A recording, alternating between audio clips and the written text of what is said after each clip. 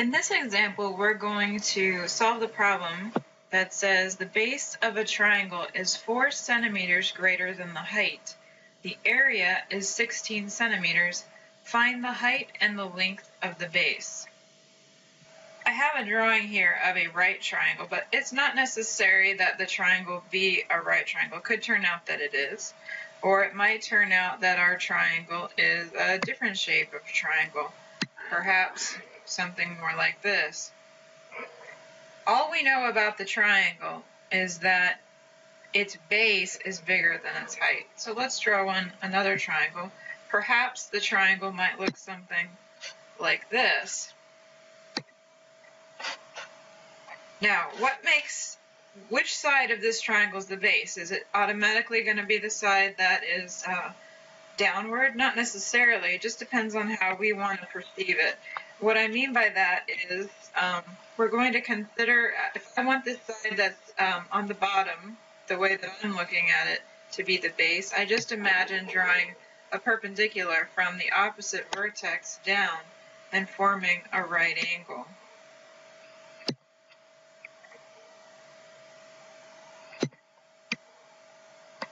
Okay, so in that case, this would be the base at the bottom. We could also turn the triangle and look at it in a different orientation. But since I've chosen this to be the base, then the height would look like this. So it's possible, if we had the black triangle, which is already a right angle, that this would be our base and this would be our height. But it's also possible the triangle looks like this. Either way, though, the formula for the area, and in this problem, area is important because they tell us the area is 16 square centimeters formula for the area is going to be the same, 1 half base times height. Okay, so let's now try to fill in some dimensions.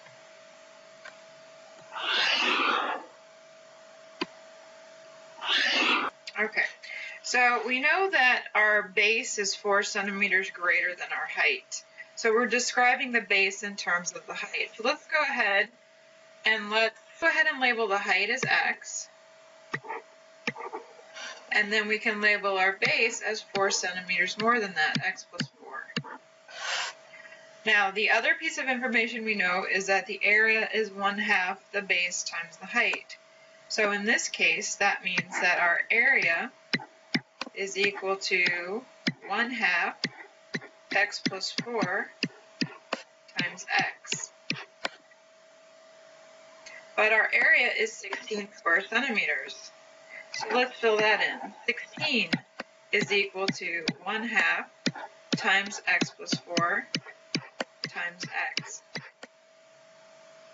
Alright, now, whenever you have to solve an equation that has a fraction in it, it's a good idea to go ahead and clear that fraction, if possible, by multiplying both sides by the denominator. In this case, the denominator being 2. I'm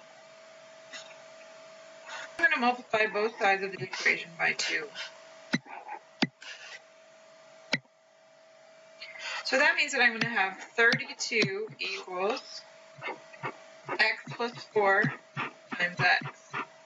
Now, whenever we have parentheses, it's a good idea to distribute through those parentheses. In this case, that's going to give us 32 equals x squared plus 4x. Now, this type of an equation where you have a power of 2 is called a quadratic equation. And one of the methods for solving quadratic equations is to get 0 on one side and factor the other side. And that's what we're going to do. So what I mean by that is I'm going to subtract 32 from both sides of the equation, which is going to give me, what is this guy? Which is going to give me 0 equals x squared plus 4x minus 32. Now the right side of the equation is a trinomial, and we know that trinomials can be formed by multiplying two binomials together. In this case, the first term of each would have to be x, so that when we multiply them, we get x squared. And then we look at the number 32 and the number 4 to determine what the second term in each binomial would be. The number 32 would have to be formed by multiplying two numbers together.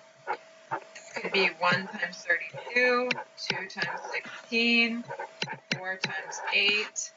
Uh, what else could we do to get 32? Um, I think that's about it.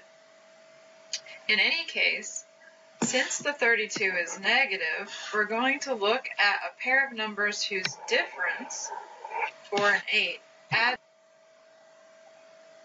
Okay, looks like my computer's back. Okay, so what we're going to do is we're going to, we found a pair of numbers that multiply to give us 32, and what we want is actually negative 32, so we're going to need one of them to be negative and one of them to be positive. I'm going to choose the negative 4 and a positive 8 so that they add up to a positive 4 in the middle. Here's what I mean. I'm going to have one of the binomials be x minus 4 and the other binomial be x plus 8.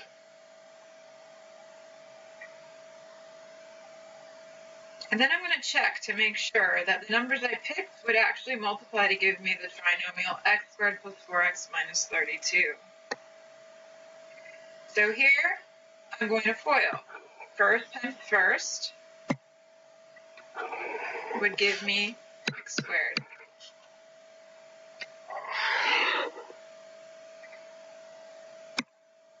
outer times outer would give me 8x. Inner times inner would give me negative 4x. Those add up to a positive 4x in the middle. And then last times last would give me negative 32. So you can see that x minus 4 times x plus 8 is x squared plus 4x minus 32. Now, why is it beneficial to have our equation written in this form? Well, if you think about it, these two so if you have two numbers, x minus 4 and x plus 8 being multiplied together and their product is 0, that must mean that one of them is 0. That's called the zero factor property. But the important thing is that you know how to break this apart and set each factor to 0. So either x is equal to 4 or x is equal to negative 8. Now let's think about what x means for a minute. x represented the height of our triangle. Now, are we going to have a height of negative 8? Probably not. Our height's going to be a positive value. So that means that we just found that our height of our triangle must be 4. And in that case, what must be the length of the base? Well, we know our base is 4 more than the height. So our base must be 8.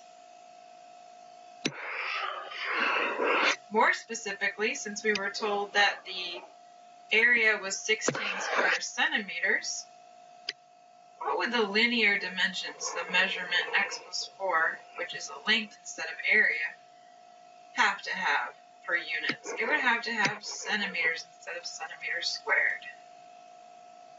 And that's the solution to our problem.